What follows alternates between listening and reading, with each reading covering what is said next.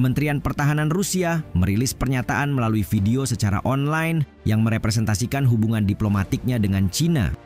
Sebagaimana Newsweek melaporkan, Menteri Pertahanan Cina Dong Jun memberikan dukungan penuhnya terhadap perang Rusia di Ukraina melalui panggilan video dengan rekannya dari Rusia, Sergei Shoigu.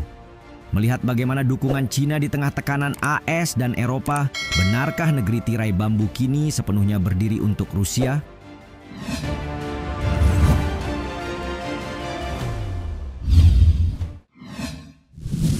Indikasi dukungan militer Dukungan secara militer yang diberikan Cina kepada Rusia seharusnya tidak akan mengejutkan dunia. Indikasi itu bahkan telah terbaca sejak sejumlah sumber membocorkan peran Cina yang memasok senjata untuk mendukung Rusia di medan perang. Faktanya, ketegangan seputar krisis Ukraina telah menguji ketahanan kemitraan Cina-Rusia. Hingga pada akhirnya, mandeknya pasokan dari barat akibat rentetan sanksi membuat pasukan Ukraina menyadari makin banyaknya komponen dari Cina dalam senjata Rusia yang digunakan selama perang. Dalam keterangan kepada Reuters yang dikutip CNBC, penasihat senior di kantor Presiden Volodymyr Zelensky, Vladislav Vlasiuk mengatakan pihaknya terus menemukan berbagai perangkat elektronik berbeda. Ia pun meyakini bahwa tidak sulit menebak dari mana datangnya komponen tersebut, sebab tidak lain dan tidak bukan komponen itu dipastikan adalah buatan Cina. Kemudian dalam laporan berbeda dari Politico, telah ditemukan catatan bea cukai yang membuktikan bahwa pabrikan Cina Shanghai Hawin mengirimkan peralatan dalam jumlah yang signifikan untuk membantu Rusia. Ini termasuk alat pelindung yang cukup untuk melengkapi banyak pasukan yang telah dimobilisasi Rusia untuk invasi, serta drone yang dapat mengarahkan tembakan artileri dan menjatuhkan granat ke pasukan Ukraina. Di sisi lain, sebagaimana dikutip dari Arab News, Cina telah berulang kali membantah mengirimkan peralatan militer ke Rusia.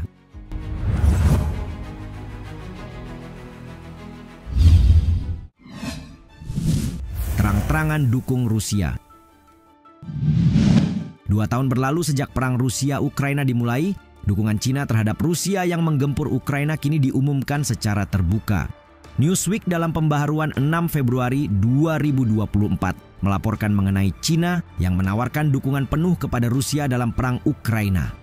Ini dibuktikan dengan rilis Kementerian Pertahanan Rusia yang dipublikasikan secara luas. Dalam sebuah rilis yang memperlihatkan pihak Cina dan Rusia terlibat panggilan video, diketahui Cina kini akan mendukung Rusia dalam masalah Ukraina meskipun ada tekanan dari AS dan Eropa diwakilkan oleh masing-masing Menteri Pertahanan Cina dan Rusia, Dong Jun dan Sergei Shoigu, keduanya membahas peningkatan kerjasama dan koordinasi militer seiring berlanjutnya konflik Rusia-Ukraina. Dong Jun dalam pernyataannya mengaku paham dan peduli dengan situasi Rusia yang telah terisolasi dari AS dan Barat beberapa tahun terakhir. Dan kami mendukung keadilan, kami telah mendukung Anda dalam masalah Ukraina meskipun AS dan Eropa terus memberikan tekanan di pihak Cina, tutur dong menurut video interpretasi yang dilansir Newsweek. Sebelumnya, Ukraina menjatuhkan sanksi terhadap perusahaan Cina, Comnav Technology, karena kedapatan memasok peralatan navigasi dan radar ke Rusia yang dapat digunakan untuk mendukung drone dan rudal Rusia juga Iran.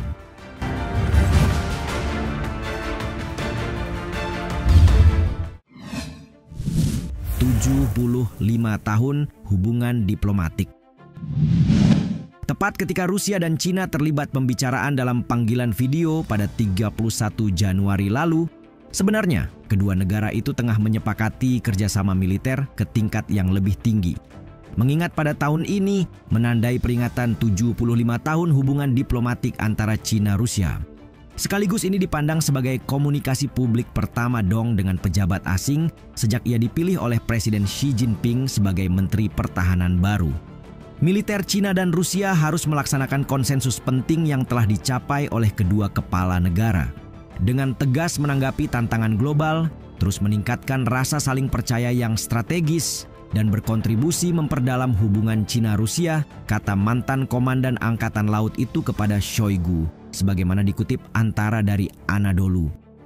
Tak bisa dimungkiri bahwa hubungan Rusia dan Cina terus terjalin dengan baik pada masa kepemimpinan Vladimir Putin dan Xi Jinping. Berkaca pada peristiwa tahun 2022 menjelang invasi Rusia ke Ukraina, Xi Jinping dan Putin mendeklarasikan kemitraan tanpa batas antara kedua negara. Lebih dari itu, kedua negara tersebut pada dasarnya menjalin ikatan ideologis yang erat pada awal periode Perang Dingin.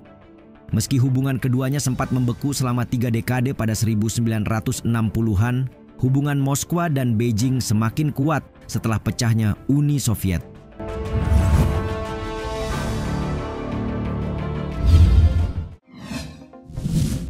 Dukungan ekonomi dari Cina. Bukan hal mudah bagi Rusia setelah sanksi ketat dari negara-negara barat mengganggu berbagai sektor. Terlebih saat larangan impor minyak dan ekspor produk berteknologi tinggi berlaku, disusul berbagai perusahaan memutus hubungan, membuat kemerosotan Rusia di bidang perdagangan jelas terasa. Beruntung Cina hadir dan menjelma sebagai salah satu mitra dagang terpenting. Negeri tirai bambu bersikeras tetap netral, dan menolak untuk mengkritik invasi Moskow. Berdasar pada data yang dihimpun BBC, perdagangan Cina secara keseluruhan dengan Rusia mencapai rekor level tertinggi yakni 190 miliar US dollar atau sekira 2.886 triliun rupiah pada tahun 2022, meningkat 30 persen dari tahun sebelumnya. Selain itu, impor Rusia dari Cina meningkat 13 persen menjadi 76 miliar US dollar atau 1154 triliun rupiah.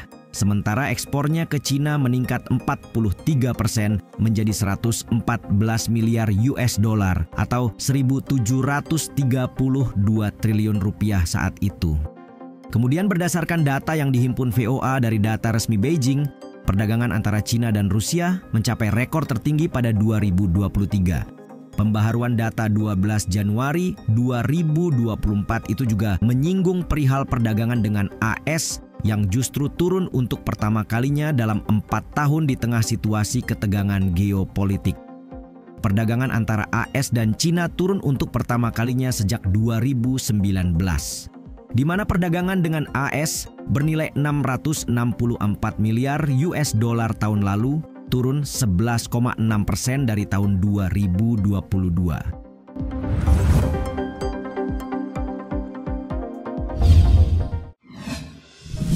Barat sebagai musuh bersama. Presiden Vladimir Putin dan Presiden Xi Jinping pernah mendeklarasikan kemitraan tanpa batas pada tahun 2022. Kemudian setelah invasi, meski tidak mendukung langsung operasi militer, Beijing secara terbuka mengecam sanksi barat terhadap Rusia. Di sisi lain, Rusia turut menyatakan solidaritas dengan Cina dalam berbagai isu teritorial termasuk Taiwan, Xinjiang, Tibet, dan Hong Kong yang dimanfaatkan barat untuk mendiskreditkan Cina. Jadi dapat dikatakan bahwa kedua negara ini menetapkan berbagai kepentingan bersama yang menguntungkan satu sama lain sembari melawan negara barat yang dipandang sebagai musuh bersama. Hal ini jugalah yang terus memantik keduanya untuk terus bermitra tak terkecuali dalam bidang pertahanan. Sekretaris Dewan Keamanan Rusia, Nikolai Patrushev dalam pertemuan di Moskow dengan diplomat senior Cina, Wang Yi 2022 lalu menyatakan Rusia akan terus mendorong kemitraan strategis dengan China. Sebab negara tersebut memandang Rusia sebagai prioritas mutlak kebijakan luar negerinya.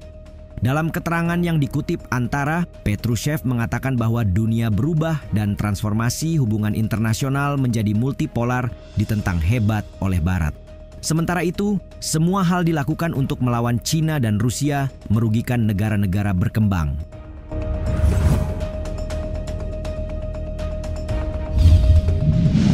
Dalam beberapa tahun terakhir, Xi Jinping dan Putin sama-sama menentang sesuatu yang mereka sebut sebagai hegemoni internasional Barat.